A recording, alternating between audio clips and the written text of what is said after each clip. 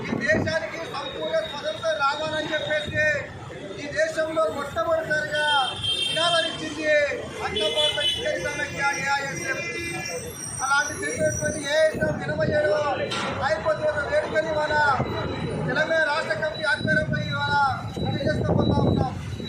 ఈ కార్యక్రమంలో పాల్గొన్నటువంటి మిత్రులందరికీ స్వాగతం పలుకుతూ రాష్ట్ర అధ్యక్షుడు కామ్రేడ్ అశోక్ స్టాలిన్ని